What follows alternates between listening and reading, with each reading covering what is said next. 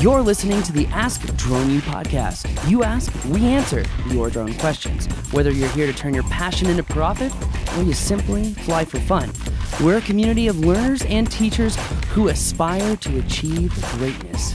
We are Drone U. Hey everyone, welcome to a very important episode on Ask Drone U. Today, we're going to be talking about filming on set, actually working in the big leagues. How can you set yourself up to get those jobs? What you need to know, how to network, and who to network with. We're also going to talk about unions. Do you need to be in a union to film on set? I'm just going to have to answer that right now. The answer is no. But I'm going to tell you a very important story about how people are trying to change the perception of whether you need to be in a union or not. But anyway, guys, my name is Paul.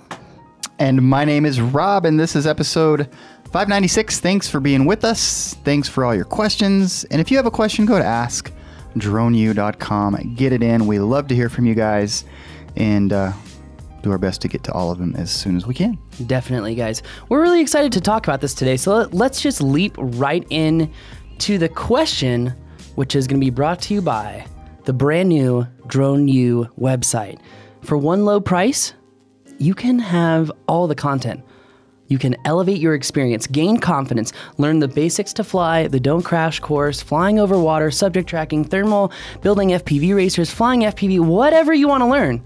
It's all there for one low monthly fee. Think of it like Amazon Prime. Check it out, thedroneu.com. Play that question, homeboy. Hey guys, this is Chris from Atlanta. I'd like to approach some of the production companies here. There's a lot of stuff being filmed. My first question is Would an Inspire 1 be adequate enough? I've seen GoPro footage in movies, so I know it should work. Second question is Should I join a union? Third question is Do you have any advice? Thank you guys. You guys are awesome. I like that nice, succinct question that Chris asked, the way he posed it. Good questions, and uh, some you know a little bit about, Paul. Yeah, I've had the pleasure of working on sets in California, New Mexico, the Bahamas, some nice places. Um, and I'll be honest with you, Rob, I used to think working on set was one of the coolest things ever. It was like the epitome of being a drone pilot, like you Right. could get there. Um, but I don't believe that anymore. Um, I, it's one of the most wrought full of regulations. Um, it's it, it is uh, saturated full of um, ignorant leaders. Ouch. Yeah. Um, but that's not talking about directors or producers or anything like that. Those people are actually really cool. Um, And know their craft really well in most cases. very well. And they are there for a business purpose to get the best thing that they can. And most of those people are extremely professional. But there is an attitude or a trend on the lower end of film sets, which is very dramatic, very rumor based, very high school esque. And if you are going to succeed in working on set, you cannot partake in any of that. You cannot distract people when you're on set. You can't take pictures with crew. You can't post pictures with crew and whatnot. Um, in fact, there's a lot of rules that you should be aware of. So, how do you set yourself up to get those jobs? Let's let's say whatever I said didn't, doesn't, doesn't mean anything to you. You don't care. you told them don't do it. No, I think I everyone wants to have that. their own experience. And honestly, there is still an element of, of the, that type of shows that I absolutely love to work for. And there actually are still some opportunities that you have to work on sets. That, I was asked by three movies last week since I cleared up my name with the local film office. There you go. I have been getting call after call after call, and I've been declining call after call after call. one, one point that I want to make about those jobs, because it's something that you talked about that is it's always stuck out with me. There's a lot of hurry up and wait, right? You're Oh, you're on set all day long.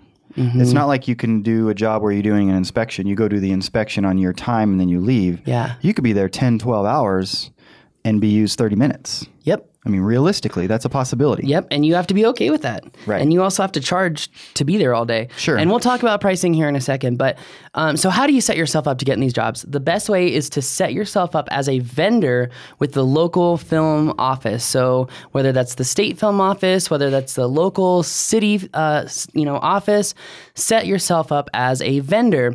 Make sure that you're in the right category. Make sure that you're set up in the right way, and then also make sure two months later that all your information is correct because someone actually went in and changed my information purposefully, and I have the evidence to prove it. It's a cutthroat industry. Oh yeah, all the way down to the will do- local level. People will do anything Yeah. to put themselves ahead of you. So you really have to be aware of that. If you've ever seen the television show Unreal, which makes fun of how they make the television show The Bachelor, it is really like that. It is absolutely really like that. That would be way more fun than the actual show, The Bachelor. Oh, it sure is, Rob. I gotta watch that one. But anyway, so you want to get yourself set up as a vendor with these people. You want to make sure that the information is validated. But you may also have to educate said film person because two things happened to me two months ago and i've said this story before but i went into local film office and she was like part 107 is not law meh. and it's just like well i'm sorry that you can't read black and white online.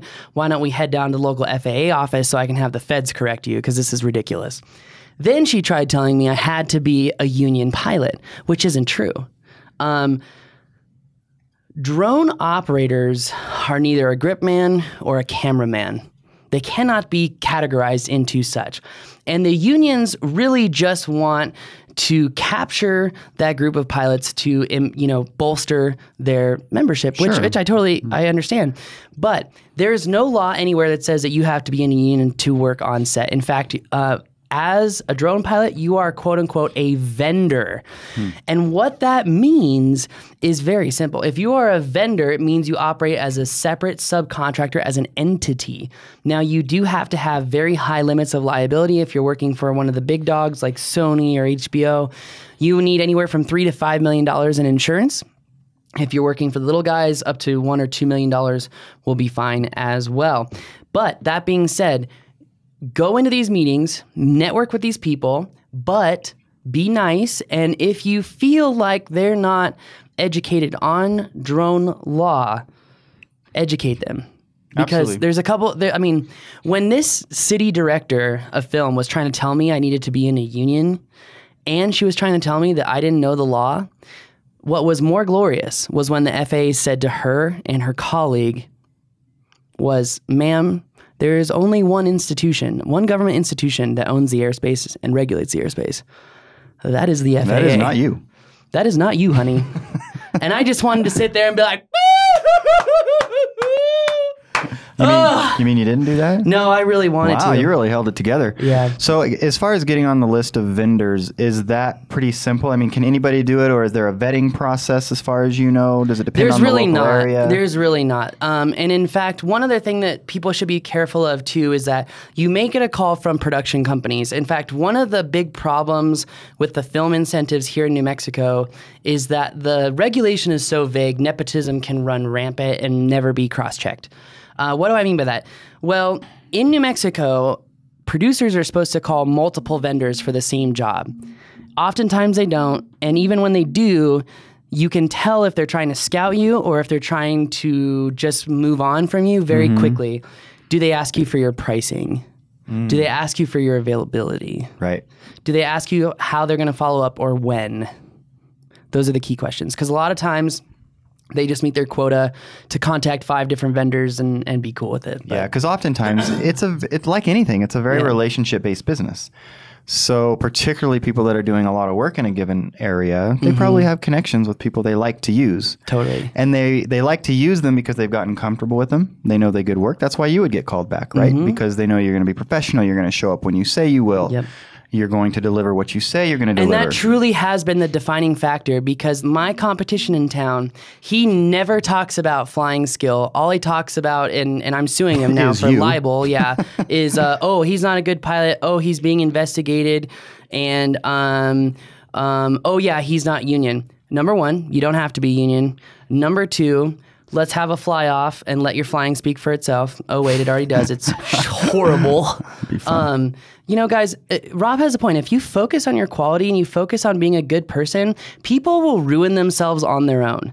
This film director made a reputation for herself within minutes. In minutes.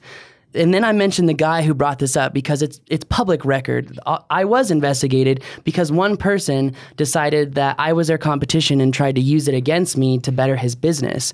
So I'm not under investigation. I've been cleared of all things. I was the very first person in the state of New Mexico to even have a license. What an honor. You know We're- what? we're oh no! When the FAA when you, the Paul. FAA said that to them too, it was like, I yeah, know. your boy that's been lying to you, homeboys, is wrong and doesn't even have a license. I have a license. It was like, oh, I just. I get so Yeah. fired up talking about it now because this lady had to be educated on what is black and white, and her job is to be educated on the law for filming. And it's like, how do you have a job? Uh, yeah, I know, and and nothing has changed, and that's just the way that the world works, right? So you have to learn to navigate that. And you have to learn with it. sometimes it's not worth fighting. You Right. have to outsmart these people. Exactly. So, and honestly, it's not freaking difficult.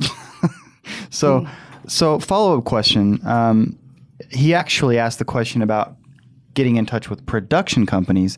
We focused on the local film office and that kind of thing, which is very helpful and beneficial. But does it make sense to actual to call actual production companies directly? And Uh, how would you go about that? I would meet with the line producer or I would meet Okay. with the executive producer. The line producer is always in charge of the budget. They're trying to get things done for the producer in a certain price point. That person will normally tell you the price point and say, hey, if you can beat X, we'll hire you. So you look them up in the phone book. I'm being a little bit facetious. You've No. got to find their number somehow. They probably have a secretary or somebody that handles their calls. And you're what are you saying to them when you call? What am I saying? Uh, Like to the the screener of the production company, and you finally have a number to call the production company. What are you going to say to them?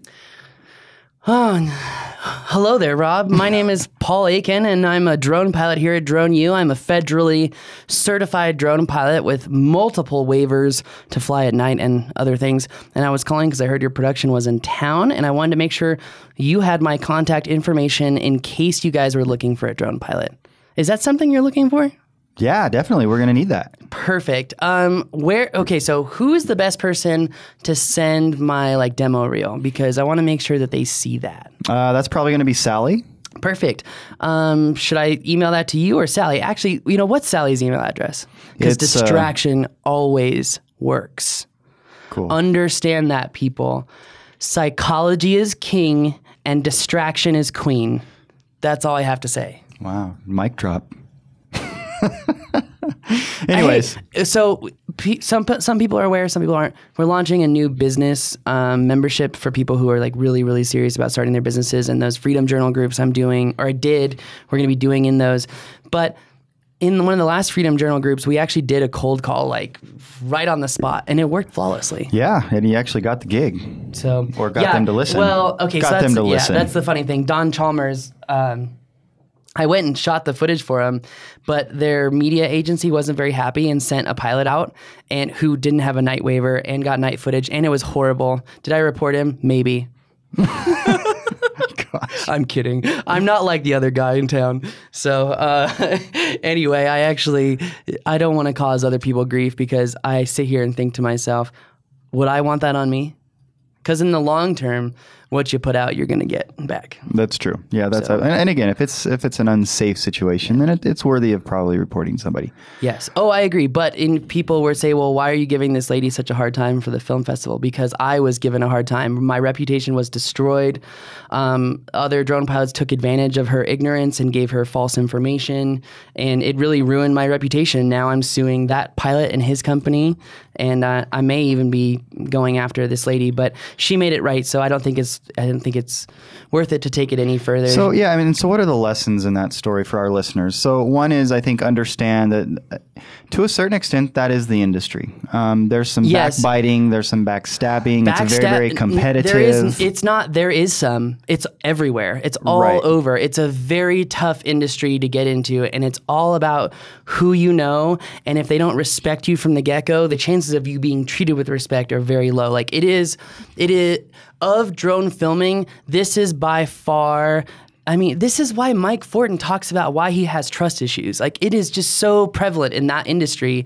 It's unbelievable. You know. I mean, like and I think we all know that. That's Yeah. that's not news to anybody. it's the nature of the beast, and that's why I say, like, you know, when Ilker and I were out on the ranch filming last week, and you know, we're both sitting there just chilling, enjoying it, and he's like, "God, it's just so beautiful out here. Like, you don't have anyone asking you questions. You don't have people running around like they're like a chicken with their head cut off. It's just you and the land." And there happen to be antelope and cows and raccoons and all this other stuff. but dealing with them is a lot easier than dealing with local city government officials. Yeah, So- yeah, for sure. Which is sad because there are a lot of government officials that are actually really cool people. There are, So- and there are a lot of production company people that are really, really great people. And but you Mm-hmm. just you do have to know that it, it's a tough industry, um, but it's doable. Obviously, I mean, people are flying for these production companies. Yeah. You just have to decide if, if that's what's for you. And Chris, it sounds like it is. And so hopefully this has been helpful um, for helping you get out there and make it happen. Yeah, totally. So anyway, sorry about my rant. Um, I'm very passionate about this, guys. Like I have people have gone after me with everything they have and lost terribly. And I hope no one has to go through that. I hope that everyone thinks about what they do to other people in a mindset of what would it feel like if it was to be done to them. That's all I have to say. Absolutely. So, So- thank you, Chris, for the question. If you have a follow up, don't hesitate. Get it in. We'd love to hear from you. And, guys, again, if you have a question, go to askadroneu.com. Thanks again for being with us. Thank you guys. That's going to do it.